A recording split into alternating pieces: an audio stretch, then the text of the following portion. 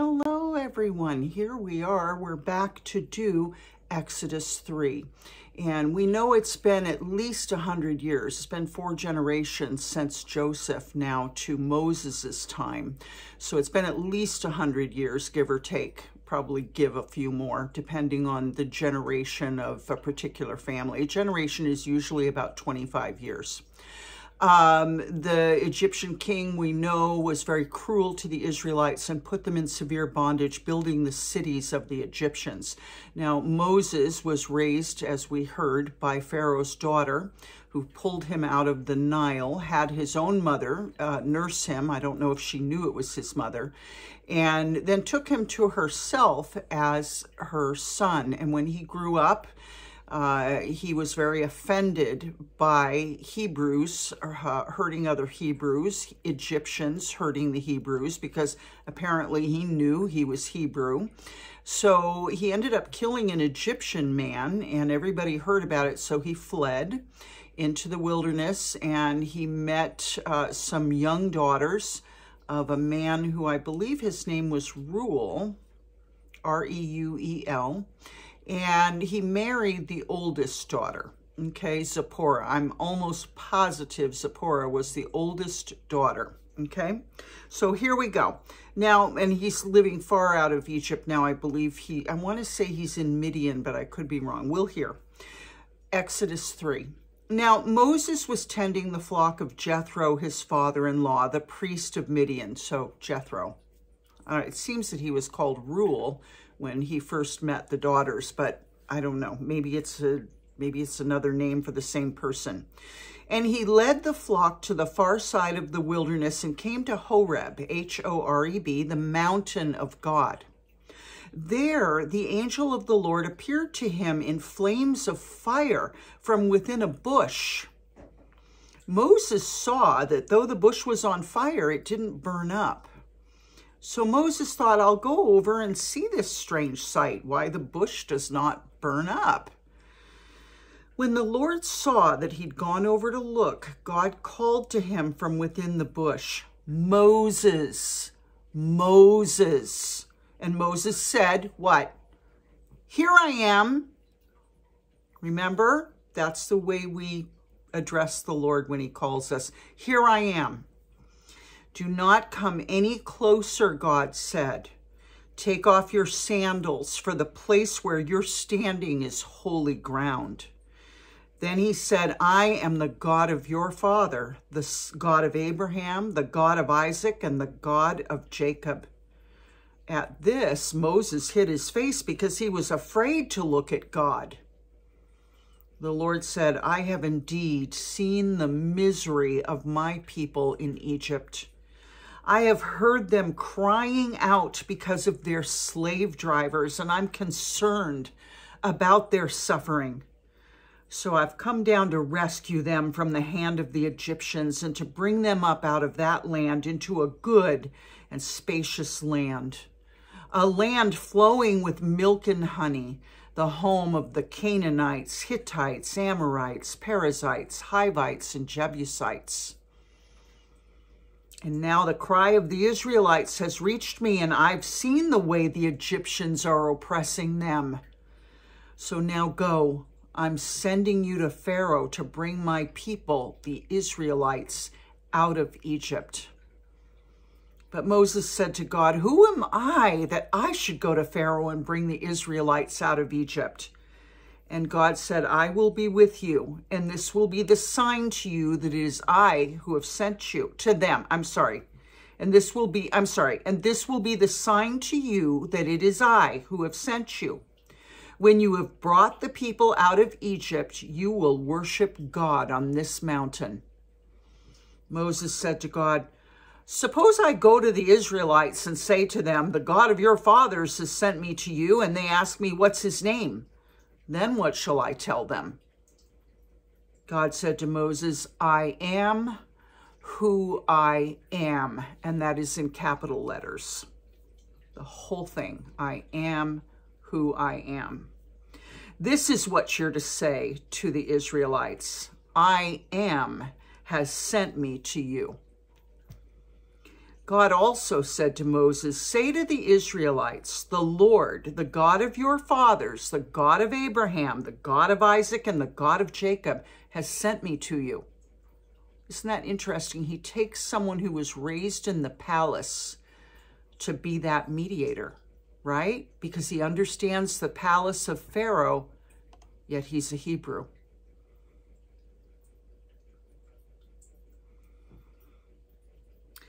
This quote, God speaking, This is my name forever, the name you shall call me from generation to generation. And what is that name? I am. Or I am who I am.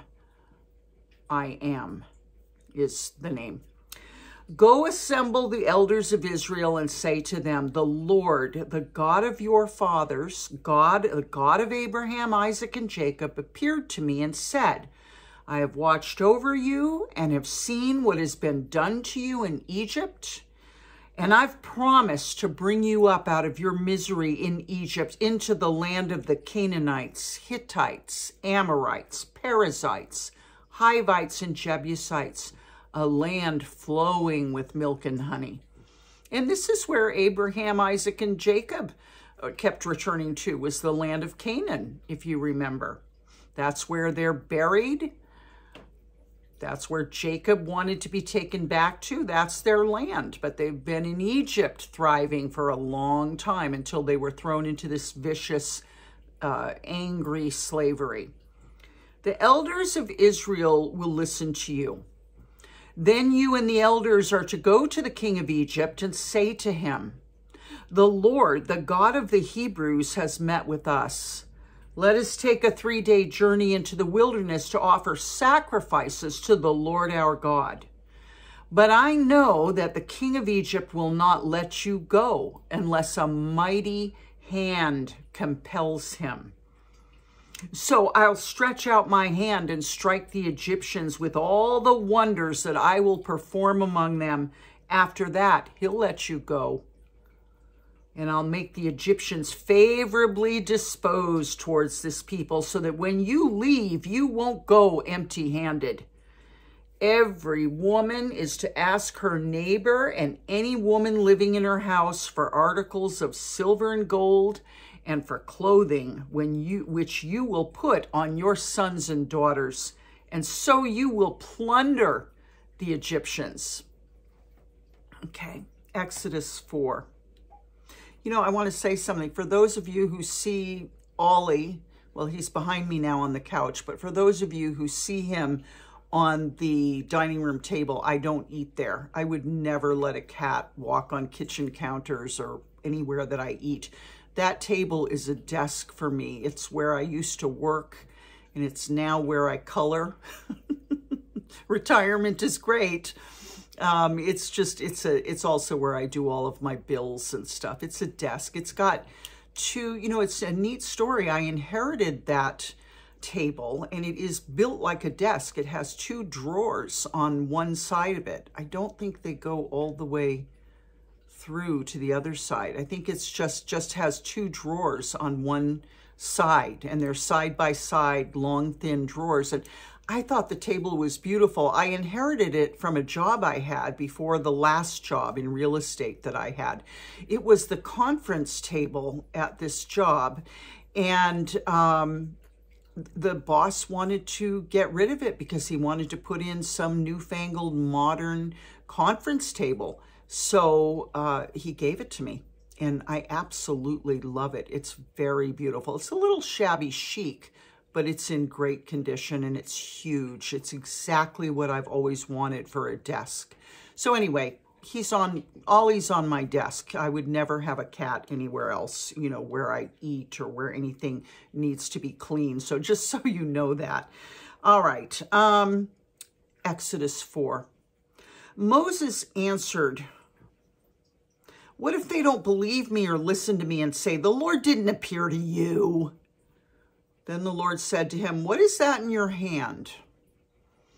A staff, he replied. The Lord said, throw it on the ground. Moses threw it on the ground and it became a snake and he ran from it. Can you just imagine that?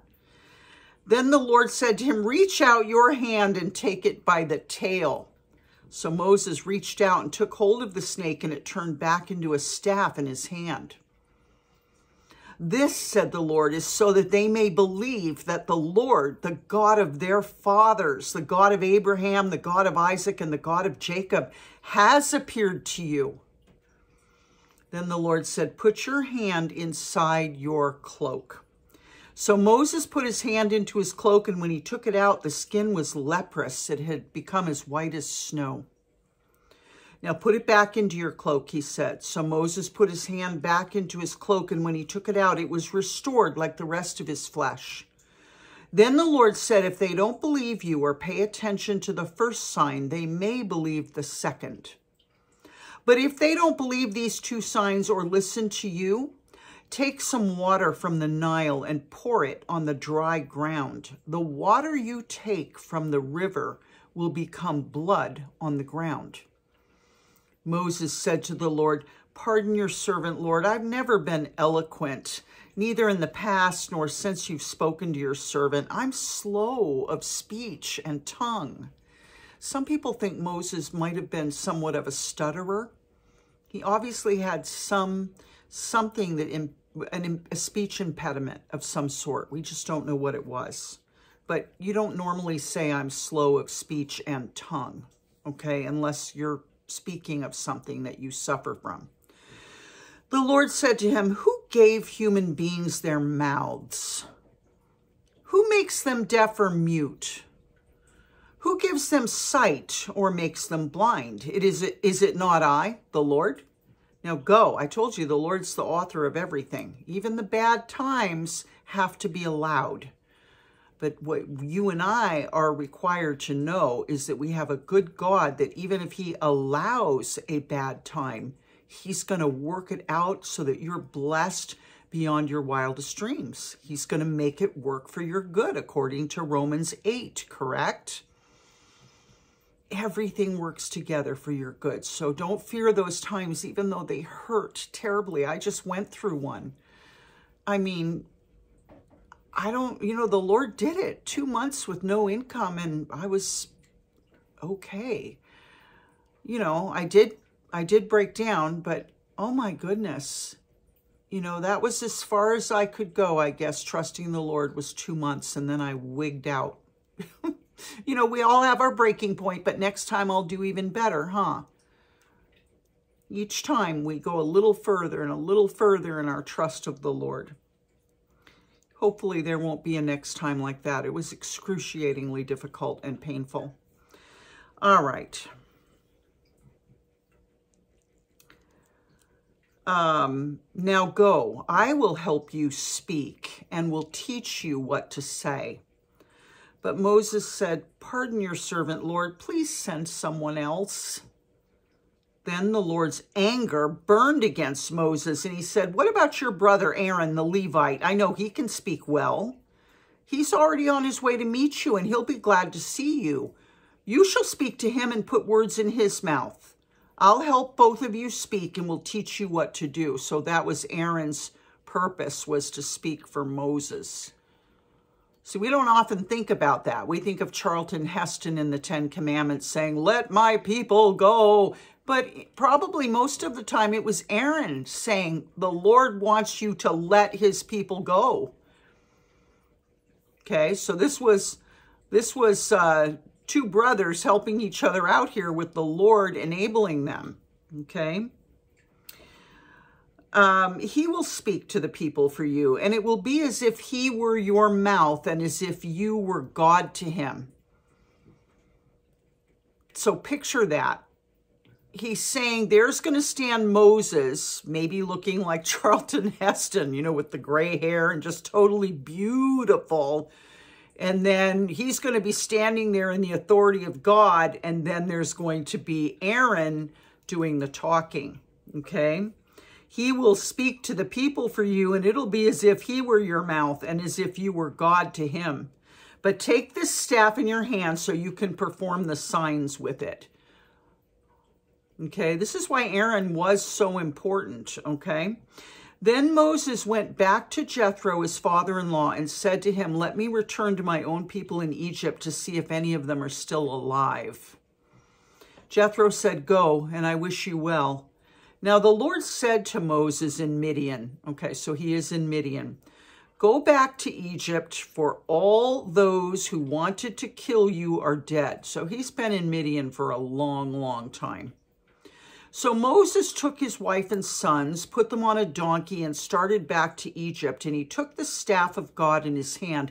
And I want to make a mention of something. You know, I was talking to a friend a couple of nights ago, and somehow it came up. She said, You know, there are just so many terrifying pastors. Now, I'm not saying this to dishonor the Lord and the people he's chosen, but she was talking about so many that really are corrupt. She was talking about the corrupt ones. And for some reason, I looked up a pastor that I don't think he was corrupt, but he wasn't a great pastor. And I remember his wife said something very heartless to me once when I was in their church for a matter of, I don't know how long I was in it, not long.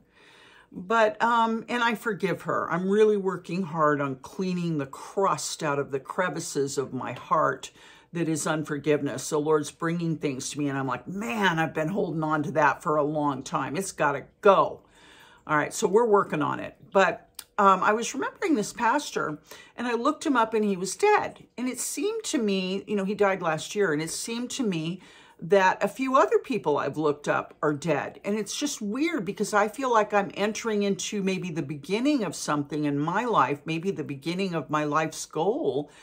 And a lot of the people that I walked with have passed away. So that sentence just reminded me of that. You know, the people that, um, uh, all those who wanted to kill you are dead. Well, these people didn't want to kill me. But a lot of, you know, old um, people that did harm me within the church, they're gone.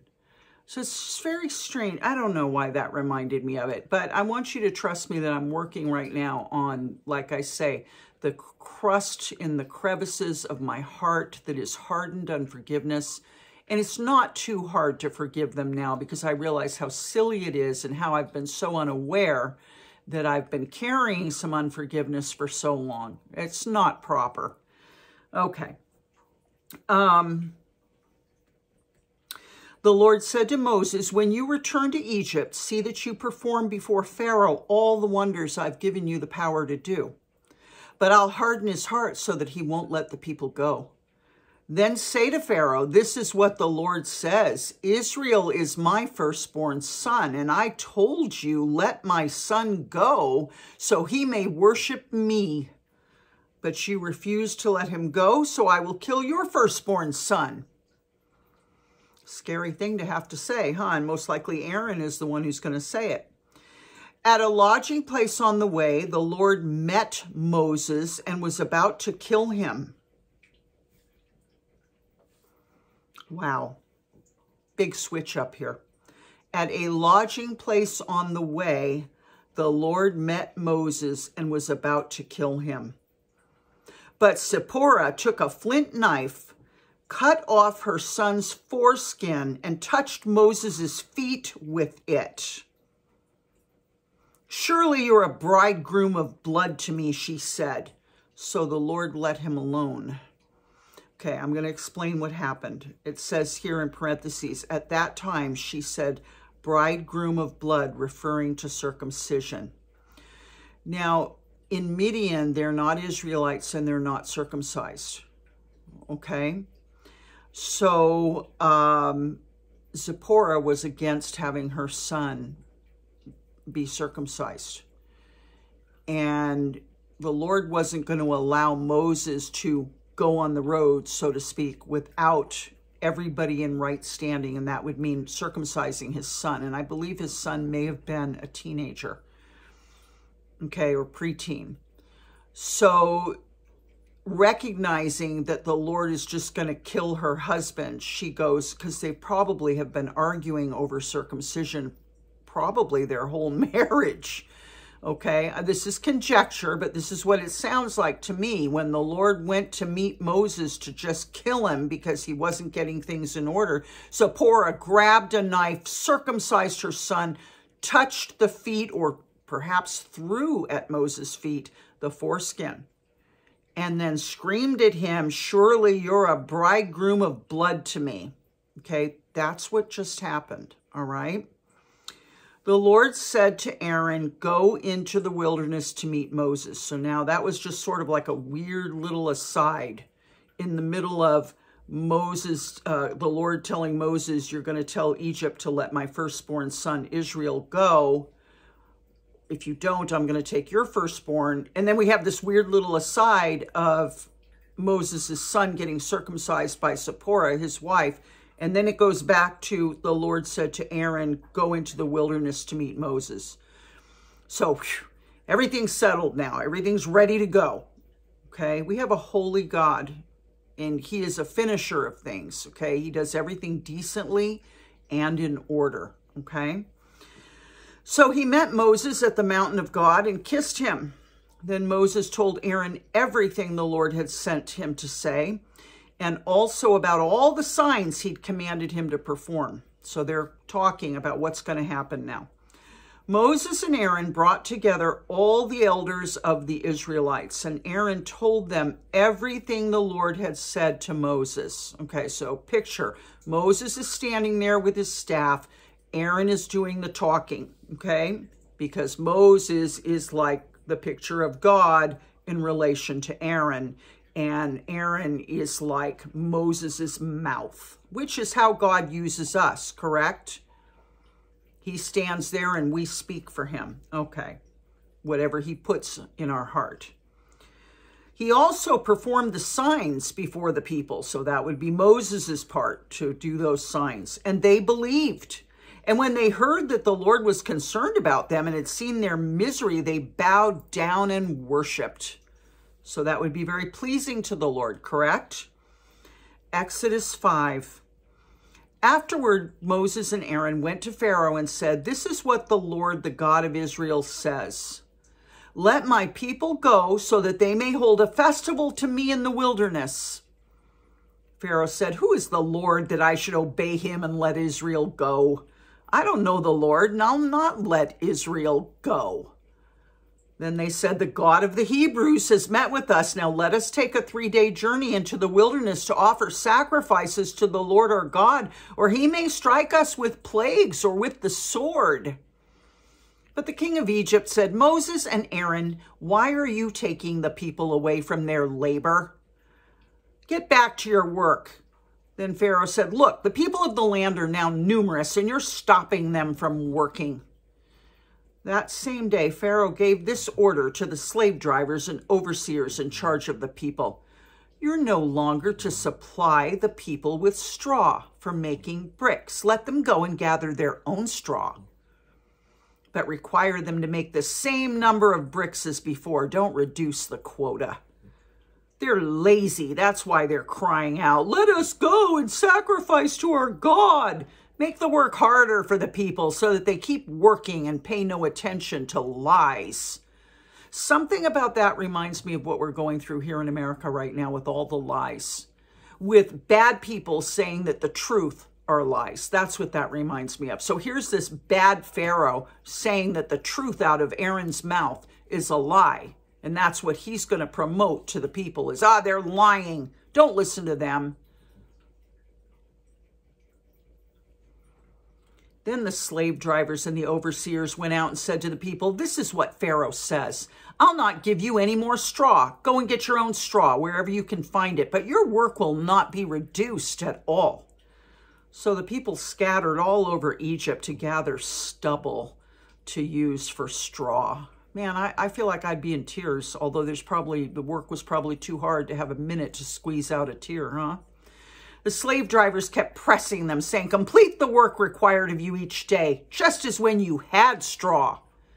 And Pharaoh's slave drivers beat the Israelite overseers they had appointed, demanding, Why haven't you met your quota of bricks yesterday or today as before?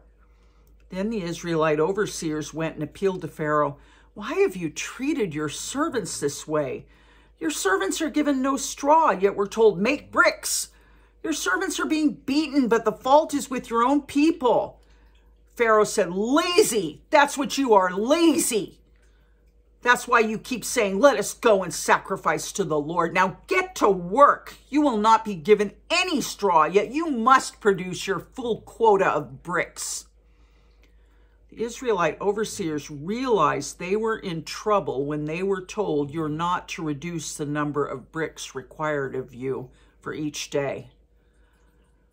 When they left Pharaoh, they found Moses and Aaron waiting to meet them. Oh, hallelujah. And they said, May the Lord look on you and judge you. You've made us obnoxious to Pharaoh and his officials and have put a sword in their hand to kill us. Moses returned to the Lord and said, Why, Lord, have you brought this trouble on, on this people? Is this why you sent me? Ever since I went to Pharaoh to speak in your name, he's brought trouble on this people, and you haven't res rescued your people at all. We do get mad at God, don't we? You should have heard me saying, Lord, isn't the workman worthy of his meat? You said, and we can remind God of his promises. Hopefully we're not screaming and crying. Exodus 6, and this will be our last one for tonight. Then the Lord said to Moses, Now you'll see what I will do to Pharaoh or I should say that different. Now you'll see what I will do to Pharaoh. Because of my mighty hand, he'll let them go. Because of my mighty hand, he'll drive them out of his country. He'll drive them out of his country. God also said to Moses, I am the Lord. I appeared to Abraham, to Isaac, and to Jacob as God Almighty, but by my name, the Lord, I did not make myself fully known to them. I also established my covenant with them to give them the land of Canaan where they resided as foreigners. Moreover, I've heard the groaning of the Israelites, whom the Egyptians are enslaving, and I've remembered my covenant. Therefore, say to the Israelites, I am the Lord, and I will bring you out from under the yoke of the Egyptians. I will free you from being slaves to them, and I will redeem you with an outstretched arm and with mighty acts of judgment. I will take you as my own people, and I will be your God. Then you will know that I am the Lord your God who brought you out from under the yoke of the Egyptians, and I'll bring you to the land I swore with uplifted hand to give to Abraham, to Isaac, and to Jacob. I will give it to you as a possession. I am the Lord. Moses reported this to the Israelites, but they didn't listen to him because of their discouragement and harsh labor. I understand that too, where you're just exhausted and you just don't want to hear anymore. You know, like, don't tell me, I don't want to hear it. Then the Lord said to Moses, Go tell Pharaoh, king of Egypt, to let the Israelites go out of his country. But Moses said to the Lord, If the Israelites will not listen to me, why would Pharaoh listen to me, since I speak with faltering lips? Now the Lord spoke to Moses and Aaron about the Israelites and Pharaoh, king of Egypt, and he commanded them to bring the Israelites out of Egypt. These were the heads of their families. The sons of Reuben, the firstborn son of Israel, were Hanok and Pallu, Hezron and Carmi. These were the clans of Reuben. The sons of Simeon were Jemuel, Jamin, Ohad, Jachin, Zohar, and Shaul, the son of a Canaanite woman. These were the clans of Simeon. These were the names of the sons of Levi according to their records, Gershon, Kohath, and Merari. Levi lived 137 years. The sons of Gershon by clans were Libni and Shimei. The sons of Kohath were Amram, Izhar, Hebron, Uzziel. Kohath lived 133 years. The sons of Merari were Mahli and Mushi. These were the clans of Levi according to their records. Summation sentence, I think. Uh, no, maybe that's a title sentence. Amram, these were the clans of Levi according to their records. Amram married his father's sister Jochebed, who bore him Aaron and Moses. Amram lived 137 years. The sons of Izhar were Korah, Nepheg, and Zikri. The sons of Uzziel were Mishael, Elzaphan, and Sithri. Aaron married Elisheba, daughter of Amminadab and sister of Nahshon, and she bore him Nadab and Abihu, Eleazar, and Ithamar. The sons of Korah were Assir, Elkanah, and Abiasaph. These were the Korite clans. Eleazar, son of Aaron, married one of the doctors of Putiel, and she bore him Phinehas. These were the heads of the Levite families, clan by clan. It was this Aaron and Moses to whom the Lord said, Bring the Israelites out of Egypt by their divisions. So they're giving you a little background here. And also uh, with Aaron and Moses, we're going to hear about Miriam, one of their sisters. Okay. Uh, it was this Aaron and Moses to whom the Lord said, Bring the Israelites out of Egypt by their divisions. They were the ones who spoke to Pharaoh, king of Egypt, and bringing about bringing the Israelites out of Egypt. This same Moses and Aaron. Now, when the Lord spoke to Moses in Egypt, he said to him, I am the Lord. Tell Pharaoh, king of Egypt, everything I tell you. But Moses said to the Lord, since I speak with faltering lips, why would Pharaoh listen to me? Don't we do that? Don't we say the same thing after, you know, it was, it, and I'm going to tell you an example. When I had that vision of the angel telling me that uh, my daughter Gabrielle would have a life altering um, experience and she would serve the Lord. You know, I started that conversation with that angel. Now, if you don't believe me, just suspend your disbelief for a minute and just hear me. Okay. You don't have to believe me, but for those that do and that know that I'm speaking the truth, just hear me. And everyone else, just hear me. Suspend your disbelief. When I asked the angel when he first appeared, and he didn't appear in a big glow of light with wings and all that, it just wasn't like that. Uh, he looked like, uh, the word that came to me was centurion. He was just like a man, but very, um, pure looking. And I tested the spirit and he, I realized he was from the Lord, not from the enemy. And the first thing out of my mouth is, is was, is she going to die? So he says, no, she will not die. She'll have a life-altering situation, uh, experience, and she will serve the Lord. Okay, so then he told me some other things. So then as he's leaving, I say to him again, is she going to die? And he turned around and looked at me and he said, the Lord's will be done.